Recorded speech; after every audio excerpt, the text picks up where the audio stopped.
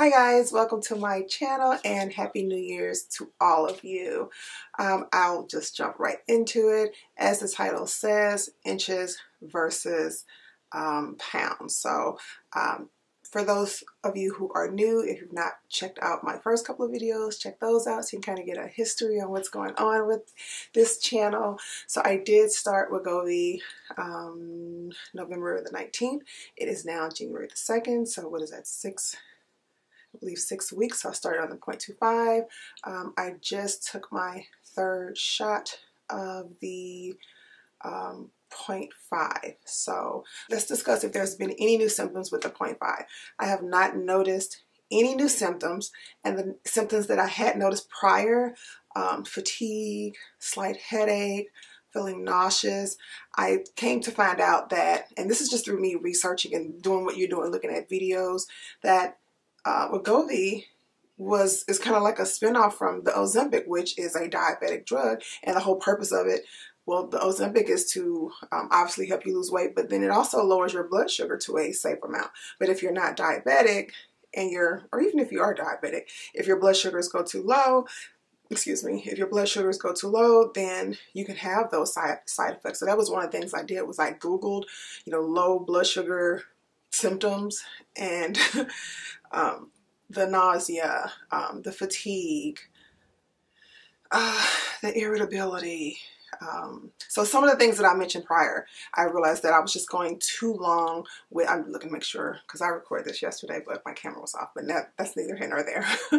uh, so what I realized was that I was going way too long between eating five, six, seven hours. I was going way too long and my blood sugars was dropping to an, um, a level that was just making me have all those symptoms. So what I started doing was keeping a piece of fruit with me or like one of those 90 calorie peanut butter bars or or something. And I noticed that when I was doing that like every couple of hours, it regulated it. So those symptoms practically disappeared. So that was one thing. Like if you're having those, try to eat a little more frequently, even if it's something small, but just something to kind of get your sugars up. So preferably something healthier. Like I said, I do apples because I do like that, but I was also doing it like a little chocolate peanut butter snack, and that helped too. So we're I'm, I'm getting there. We're gonna be making healthier choices. Um, so inches versus pounds. So I was wondering, why is the scale not moving? Well, it's moving. I, I want to say I'm at a total about 10 pounds down, and it's just kind of been fluctuating. But then after doing my research and looking at different articles, not all, you know, from medical journals and um, different random articles from like Healthline and even the Wegovy um, site, it just talks about this is a tool for the weight loss, which we all know that. And that's just, I may get into that with a, a later video, but I noticed before when I lost weight that um, I started noticing weight loss first in my face, and I started noticing um, the weight loss, where did I notice it? My face and then my legs. I carry weight like in my arms, so usually that comes last. But I immediately noticed that my clothes were um, fitting looser. And because our weight can fluctuate, by four pounds even overnight, that's not a really accurate indicator of true weight loss. So you can have a person that's 200 pounds um, and then a person, or two people that's 200 pounds. And if one has lost fat, they're still gonna, I mean, fat weighs the same as uh, muscle. But if one has lost fat, I mean, they're still to weigh the same, but they're to look noticeably different because fat takes up takes up less space. And I'm not just saying that to make myself feel good. Like this is scientific fact. Um, so yeah, what I've noticed was that um, my clothes are looser.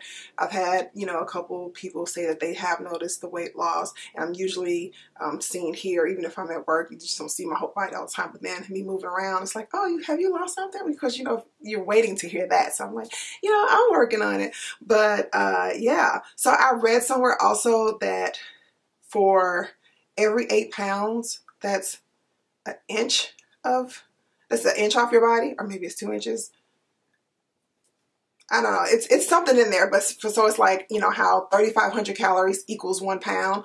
So for my readings, so many pounds equals an inch. But I don't want to get hung up in that because at the beginning I was so tied to um, the scale that it was like putting me on an emotional roller coaster because I was checking it every day and it's supposed to be like a gauge but not a true indicator. So my clothes were getting looser but sometimes the scale wouldn't move like the scale wouldn't move for like a week or it might even go up a half a pound or a pound. And I'm like, oh my gosh. So the one thing I noticed was that every year probably for the last five or six years between um, Thanksgiving and the New Year's, I was usually up four to six pounds. That did not happen this time. So, yay us. If that happened to you, then congratulations. If not, that's okay. Just get right back on track. We can do this. Um, so what was the other thing I was going to say? Oh, um, because we're eating less, then um, if you are weighing yourself frequently throughout the week, you'll be able to figure out what you ate, that's a no-no. So for me, I notice that if I eat something that has too much salt in it, I'm up almost two pounds, which probably that's most people because of sodium, and it helps you retain water. Um, I notice that I'm up, but and because I'm eating less food, it's easier for me to figure out what it was that I ate versus me eating on and off all through the day. And it's like, oh my God, I, like I couldn't narrow it down because I was kind of eating some of everything. But this really helps you hone in on exactly what is um, causing the change or the fluctuation in your weight. Now, what I've done, and I've done that, I think I showed you guys in a prior video, I downloaded, what was it? Pay, uh, not PayPal, MyFitnessPal. I downloaded that a couple of years ago. And what I've been doing is using that to actually track my weight. And I'm not so good about putting my foods in there every day, but to actually track my weight and just kind of see the graph going, or I should be going this way, to see the graph going down. You know, it feels good, even though it's not dropping as fast as I would like. Again, you could be losing inches because that's exactly what is happening to me. So I am doing some weight training, but right now I'm only doing it once a week. But just even that few or just that little is making a difference because, you know, the weight is, you know, I'm definitely looking different and I'm definitely feeling different. Uh, my clothes are feeling, or uh, my clothes are different on my body. So yeah, I just want to encourage you all. If this is your first time to this channel, then welcome. Um, if you're at the 0.25, stay the course because you, like you're, I got the doctor's appointment, you know, I got, you know, approved for the prescription. I'm about to start. I see all these, literally take it one I would say one day at a time. It is one day at a time, but it's a week at a time because you're taking, you know, your body is literally getting accurate, accurate, acclimated. Is it acclimated?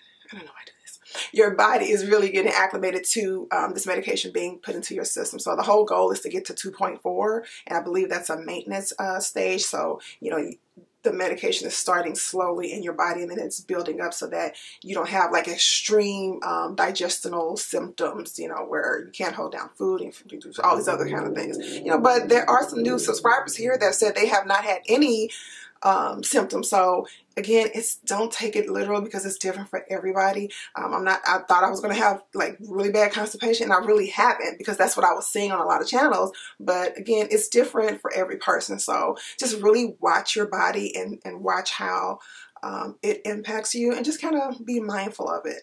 Um, what else? So yeah, the weight loss isn't coming as fast, but that's okay because this is a journey.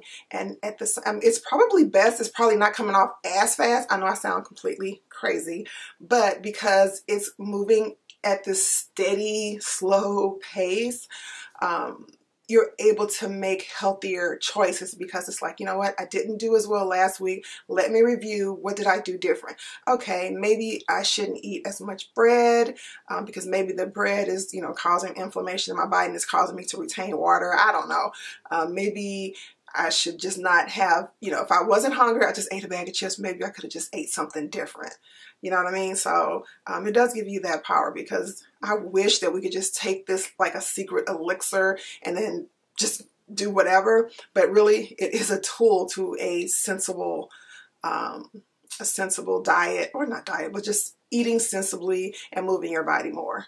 Um, in theory, that's exactly what we should be doing. But you know, you really want to just say, I took the shot and the weight start coming off. Like, I want to be able to say that, but just being realistic and being transparent. That's not how this is. This is not a magic uh, shot. So yeah, you have to stick to, um, just stick to the course, stay on your journey. You know, let's continue to support and encourage each other in the comments, and I will see you guys in the next one. Bye.